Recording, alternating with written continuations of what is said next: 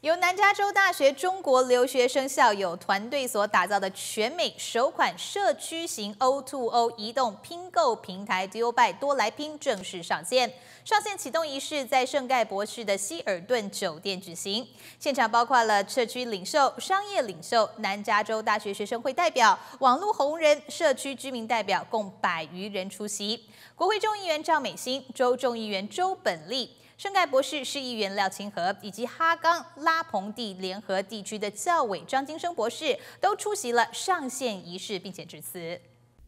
赵美心和周本利代表国会和州议会，向多拜创始人兼 CEO 边镇颁发了贺状，鼓励且赞赏多拜对当地经济与少数族裔社区所做出的贡献。中美贸易对抗当前，多拜根植于南加州社区，以连接中国和美国本土高品质厂商和社区消费者为宗旨，以便民服务为核心，为制造商与社区居民谋福利，掀起美国拼购的消费新潮，确保用户享受好货一起买、省钱又省心的购物乐趣。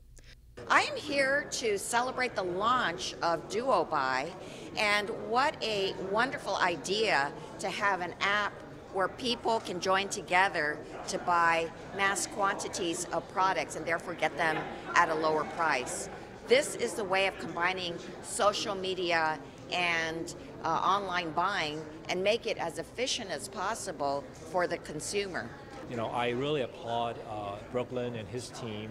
uh, for thinking out of the box and using technology to connect customers with the manufacturers.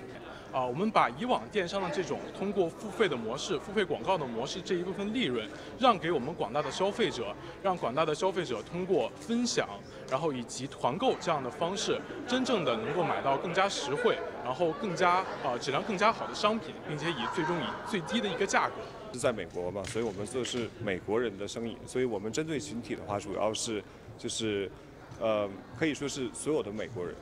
多拜坐落于洛杉矶核桃市，是一个快速发展的全新生态 F2B2C 跨境电商平台，与百家中国厂商和美国本地厂商建立了深度合作关系，旨在打造一个价格透明、消费者利益最大化的北美线上购物社区。天下卫视采访报道。